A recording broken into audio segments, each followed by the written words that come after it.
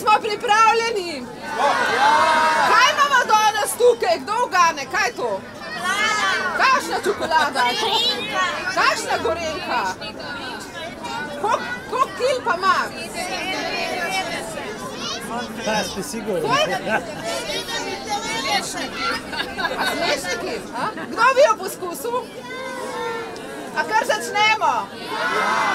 Tri, dva, ena, gremo, Gorenka! A, bravo! Še! Uh, to- Bravo, še malo, dajte malo spodbujati, no? Gremo, Gorenka! Gremo, Gorenka! Letos mineva 97 let, vsako leto na festivalu čokolade pripravite toliko kilogramov čokolade, kolikor je Gorenka stara. Vse priprave pa tečejo že na velik jubilej čez tri leta. Da, tako je. Ja. Gorenka seveda izhaja iz tega kraja okoliša ne?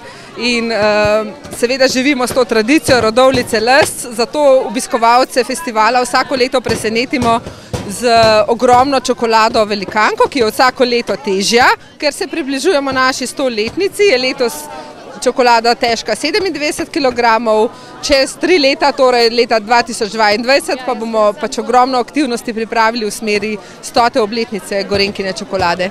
Koliko časa je potrebno, da se pripravi 97-kilska čokolada?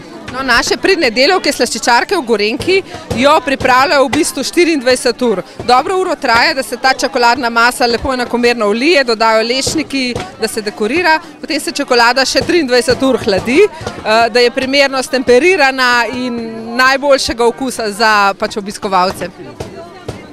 Kaj vse je v tokratni čokoladi? Slišali smo že 34 kg je lešnikov in kaj še? E, Tako, v bistvu je 66 kg prvovrstne mlečne čokolade Gorenke, ki jo izdelujemo po vsem lastni recepturi in 30 in 34 kg praženih e, prvovrstnih lešnikov, tako da odlična kombinacija. Sicer pa Gorenka ni znana samo po čokoladi, temveč tudi po pekarskih izdelkih in seveda tudi po novih okusih rolad, ki ste jih postali na trg.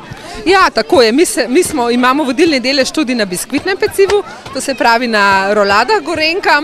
E, tako da vsako leto presenetimo s kakim novim okusom. Za novo leto je recimo to okus e, rolade slana karamela. E, nedavno smo e, promovirali nov okus čokolada z pomarančo in rancini, tako da v bistvu spremljamo novosti in ustvarjamo novosti na tem področju. Tako je, ja.